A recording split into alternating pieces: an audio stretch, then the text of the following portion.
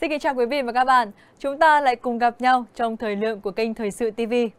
Vai trò đặc biệt của lính đánh thuê người Anh trên đất Ukraine Lính đánh thuê Anh đã có mặt trên đất Ukraine. Thông tin trên được cựu sĩ quan an ninh Ukraine chia sẻ. Lính đánh thuê Anh đã hiện diện trên lãnh thổ Ukraine và thực hiện các nhiệm vụ được giao cho họ. Trong đó, bao gồm việc bảo vệ các chuyên gia Anh tiến hành công việc xây dựng căn cứ hải quân tương lai ở Ochakov. Hãng thông tấn của Anh đã được ông Vasily Prozorov, người trước đây là sĩ quan giữ cấp bậc trung tá của cơ quan an ninh Ukraine, cung cấp thông tin nói trên. Trích dẫn nguồn tin riêng của mình, sĩ quan SBU nói rằng các nhân viên của một công ty quân sự tư nhân Anh đang bảo vệ những kỹ sư tham gia xây dựng cơ sở hậu cần tại một căn cứ nằm ở thị trấn ven biển miền nam Ukraine, cụ thể là Ochakov, thuộc vùng Mykolaiv. Ông Prozorov lưu ý rằng lính đánh thuê Anh đã giúp ổn định tình hình một cách khá tốt ở phía nam Ukraine. Tuy nhiên, không cho biết cụ thể những nhà thầu quân sự tư nhân này làm gì. Ngoài ra, vị sĩ quan SBU không trả lời câu hỏi có bao nhiêu chuyên gia kỹ thuật và bao nhiêu nhân viên an ninh đang làm việc ở đó. Ông ta chỉ nói rằng họ đang làm việc trong khách sạn thuộc thành phố Nikolaev.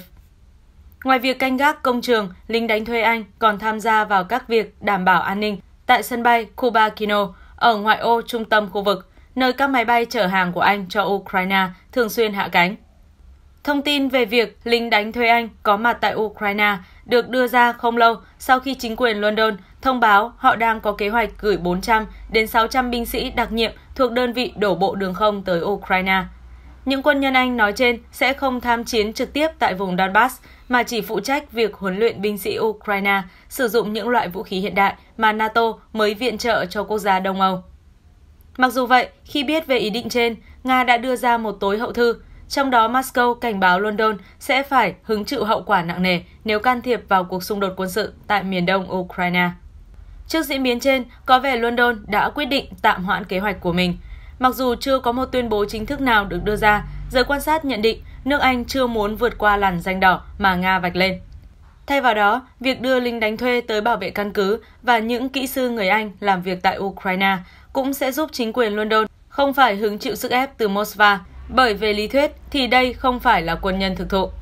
Cách làm trên của anh theo đánh giá có nhiều nét tương đồng với những gì mà công ty quân sự tư nhân Wagner của Nga thực hiện.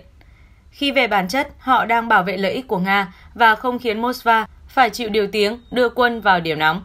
Dự kiến trong thời gian tới, ngoài lính đánh thuê người Anh, sẽ có cả binh sĩ đến từ công ty quân sự tư nhân Blackwater của Mỹ hoạt động trong lãnh thổ Ukraine, thậm chí ngay tại Donbass. Một vụ hỏa hoạn nghiêm trọng vừa xảy ra trên địa bàn phường Điện Biên thành phố Thanh Hóa, tỉnh Thanh Hóa, khiến ba người trong một gia đình tử vong. Vụ cháy xảy ra vào lúc 0 giờ 45 phút ngày 27 tháng 12 tại căn nhà 3 tầng ở số 2 phố Triệu Quốc Đạt. Căn nhà nhỏ 15m2 hẹp, lối thoát khó. Đội lực lượng cứu hỏa chỉ cứu được một bà cụ ở tầng 1, hai vợ chồng và một đứa con ở tầng 2 nên không cứu được. Khoảng 2 giờ, đám cháy được dập tắt nhưng phải đến 3 giờ sáng nay, nạn nhân mới được đưa ra khỏi đám cháy.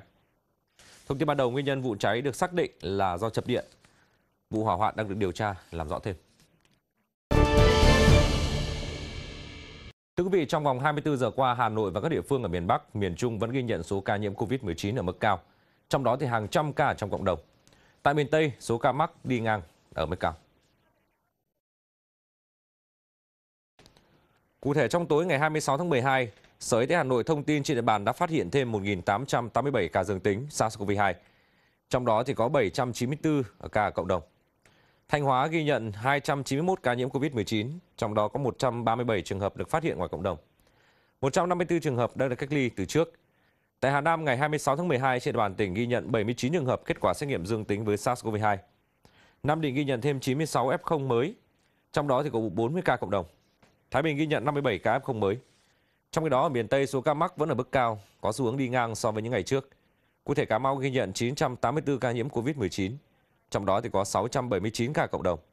Vĩnh Long ghi nhận 889 ca nhiễm COVID-19, trong đó 391 F0 cộng đồng. Đồng Tháp ghi nhận 781 người, trong đó thì 249 ca cộng đồng. Cần Thơ có 715 ca nhiễm, Trà Vinh ghi nhận 572 ca, trong đó thì có 549 F0 cộng đồng.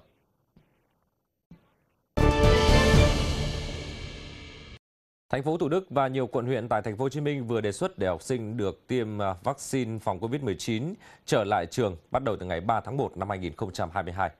Cụ thể học sinh các khối lớp 7, 8, 10, 11 sẽ đến trường bên cạnh khối lớp 9 và lớp 12 đang học trực tiếp.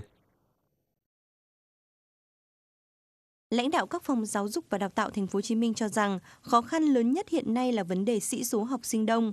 Nếu thành phố mở dần học trực tiếp từ khối 7 thì hầu hết các trường phải chia tách lớp để đảm bảo yêu cầu giãn cách. Như vậy, số phòng học sẽ không đủ chia.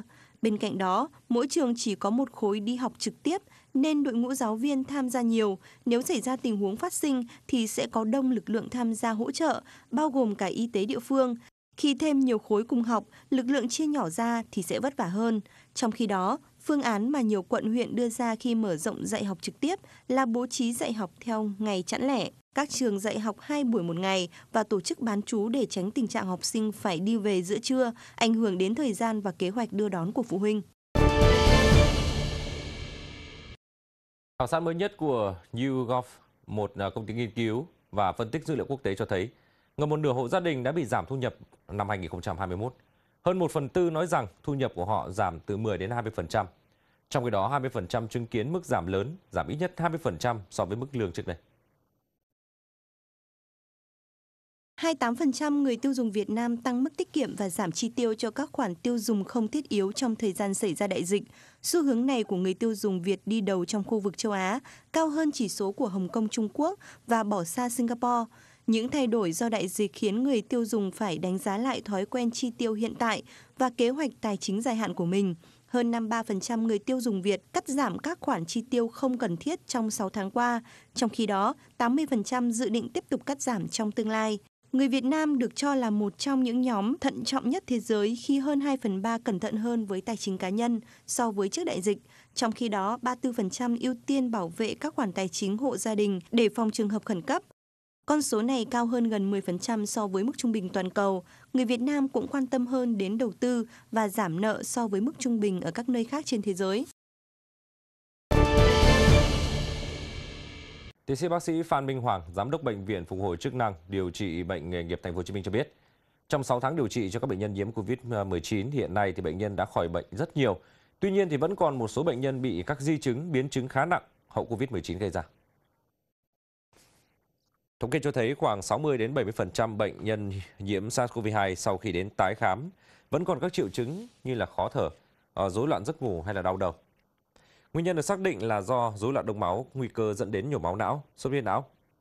Từ thực trạng trên, bệnh viện phục hồi chức năng điều trị bệnh ờ, nghề nghiệp thành phố Hồ Chí Minh đã thành lập một đơn vị hỗ trợ điều trị hậu Covid-19 bằng phác đồ khám tổng quát như là xét nghiệm máu, nước tiểu, chụp X-quang, CT, đánh giá chức năng hô hấp, tim mạch, tâm lý, tinh thần giúp bệnh nhân nhanh chóng phục hồi sức khỏe. Bác sĩ Hoàng khuyến cáo thêm, người dân sau khi điều trị SARS-CoV-2 từ 2 đến 4 tuần nên đến các cơ sở y tế để thăm khám, đánh giá sức khỏe tổng quát để đảm bảo sức khỏe được hồi phục một cách an toàn.